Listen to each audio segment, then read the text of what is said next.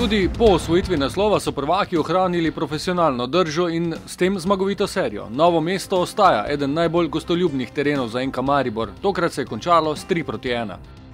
Prvič je v prvenstvu med vratnicama stal Matko Obradovič in kljub pomankanju igralne prakse celotno tekmo branil zelo zanesljivo.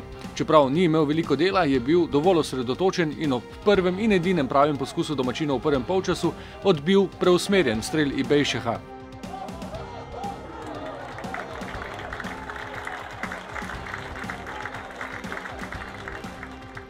Do sad je puno ovaj, rada uloženo u to i stalno sam bio na prstima, čekao sam, nisam nijedno trenutku opustio, čekao sam, znao sam da će doći ta šansa kad tad i ako dođe moraš biti e, pravi, tako da nam je danas bilo solidno, kao i cijela ekipa, odradili smo korektan posao i na kraju zasluženo dobili.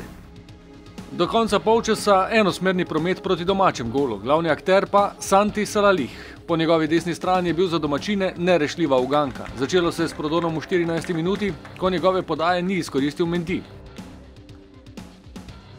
Isto sodelovanje minuto kasneje, tokrat si je Mendi lepo nastavil situacijo za strel, tudi domači vratar Mitrovič je bil pozoren.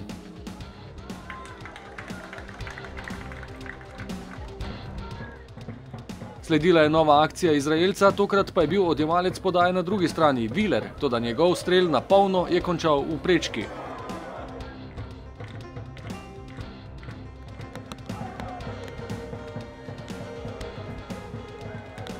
V 36 minuti pa ni bilo rešitve. Prvi poskus Santija so domačini še zadržali, tudi junak dvoboja je v nadaljevanju našel prostor za strel z levico in mreža se je zatresla prvič.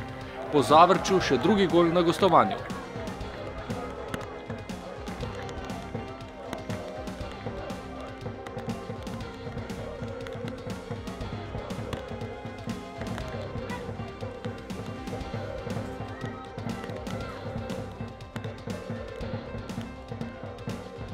It's nice to score, to, to, to give assist and everything. It's great.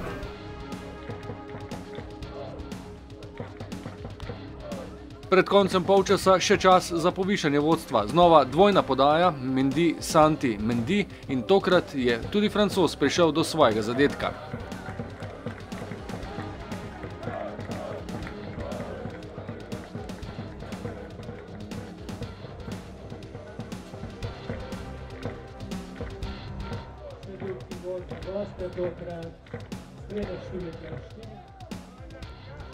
Drugi polčas se je začel znova z opozorilnim strelom domačih. Ibejšeh, ki je po prostem strelu EU pa srečno prišel do žoge, je meril nenatančno. Ob Obradoviču se je domačem občinstvu v gostujočem dresu predstavil še en debitant Martin Kramarič. Je odigral zadnjo četrtino tekme in prvo v dresu prvakov. Domačini medtem niso odnehali v prizadevanjih za znižanje vodstva. Blizu je bil Kastrevec z glavo v 74 minuti, tudi Obradovič mu je preprečil veselje. Potem pa naj dogodek tekme, kot pika na i izvrstni predstavi. Slalom Santija skozi obrambo Krke in suveren zaključek za njegov drugi gol na tekmi. Vredno še enkratnega ogleda.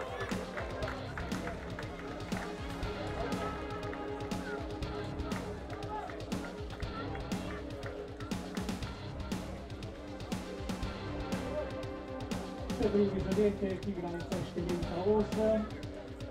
Pika lepo Santijeve kvalitete nikoli niso bile vprašljive. Dejstvo je, da ga je, da ga je malo poškodba zaustavila v, v nekakšnem naletu. Enostavno pokazal je, da je zakaj je v Mariboru in z, z pravim delom, z še več odrekanja bo, bo pokazal še več. Le dve minuti zatem se je domačinom le išlo, po podaj z desne je Anjekan zabil častni zadetek.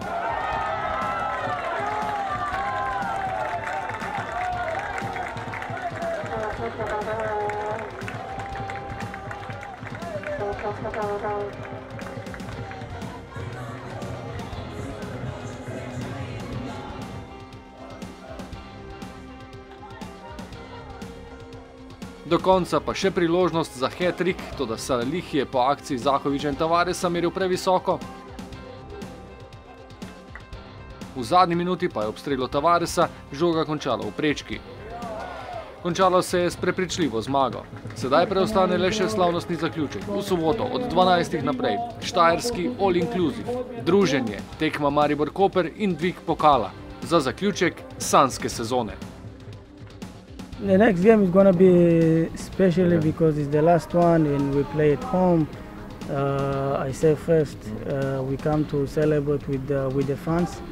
I think uh, the first thing, uh, they are, uh, the important things for our club is the fans. So uh, we come. First, we need to play like we play today to win, and then to start to celebrate, and to go to vacation with smiling.